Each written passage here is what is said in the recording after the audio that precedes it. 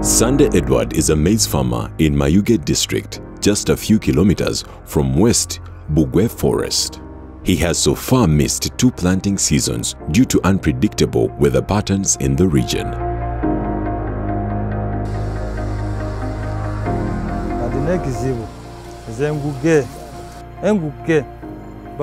mbona mbona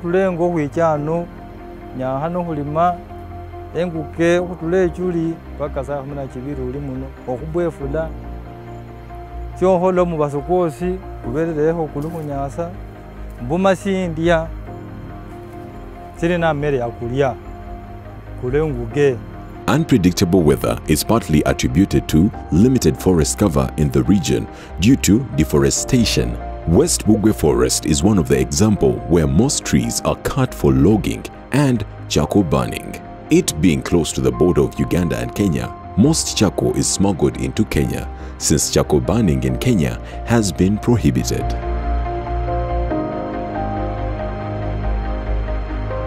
They, they used to cut the charcoal they, and they smuggle it into Kenya, of which now it has, re, it has been minimized completely. bazadde bange twakula nga muno mwe bajja eddagala eritujjanjaba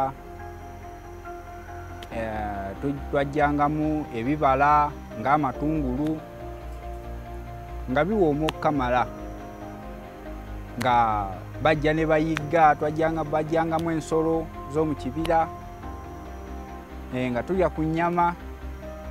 Naye kati tebikyasangika mu kibira kino olw'ensonga nti bakitemye nnyo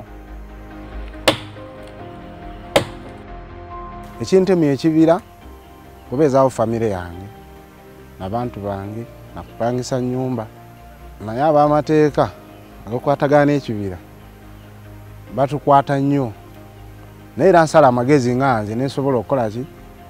Okwebeezaawo ne famire yange kubanga siyinza siiba njala nga te ekibira weekiri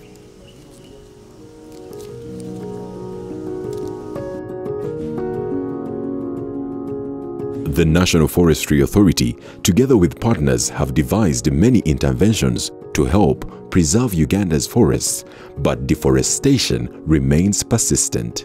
The United Nations Development Programme Accelerator Lab took on the challenge of deforestation to clearly understand why it is being persistent. Despite various interventions from various engagements with stakeholders, it was discovered that the issue of deforestation should be handled in a systematic way, curating interventions with a portfolio approach as opposed to a one project intervention. Uh, deforestation is a huge and very complex uh, development challenge uh, in this country. We've done an energy audit which has given us indications that we can actually deliver electricity at affordable prices uh, to the you know, social institutions in the health sector, in the education sector, in the urban setting, and offset uh, and see a big shift away from the use of um, from the use of biomass. Uh, we hope to generate evidence that will inform the design or structuring of uh, preferential tariffs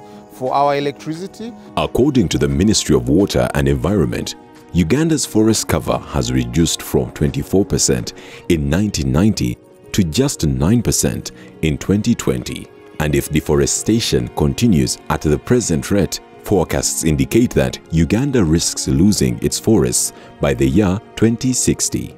Deforestation has the potential to exacerbate climate change, soil degradation, mudslides and floods, as well as reducing Uganda's biodiversity and reversing progress on Uganda's sustainable development outcomes. Developed in partnership between the United Nations Development Programme and the National Forestry Authority, the Uganda National Resource Information System has been earmarked to monitor forest cover and track the impact of initiatives relating to deforestation in Uganda. Having recognized the gap in recent data to track the state of the forest in Uganda, have developed the Uganda Natural Resource Information System as a collaborative and real-time data mapping tool with the capacity to track field changes, map trends in forest cover loss and growth, provide a data source for partner initiatives while also offering potential to monitor population density, urban development and other variables in the future. This initiative is working to protect Uganda's forests and biodiversity and improve sustainable development outcomes for the people and planet. With time also it will be accessed by other stakeholders who will be able to report relevant information in forest monitoring, most especially when it comes to cases of forest encroachment. That means reporting of illegalities.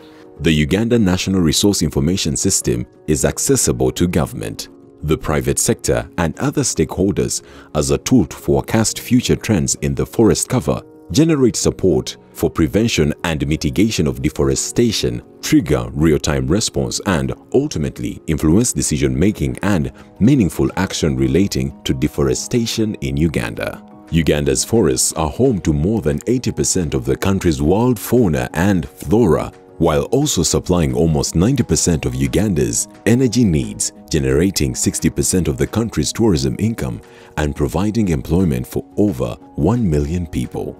Forests also provide vital ecosystem services and resources that are essential for human development and Uganda's social, economic, and environmental well-being is tightly bound to the many benefits that healthy forests provide and therefore they need to be utilized sustainably.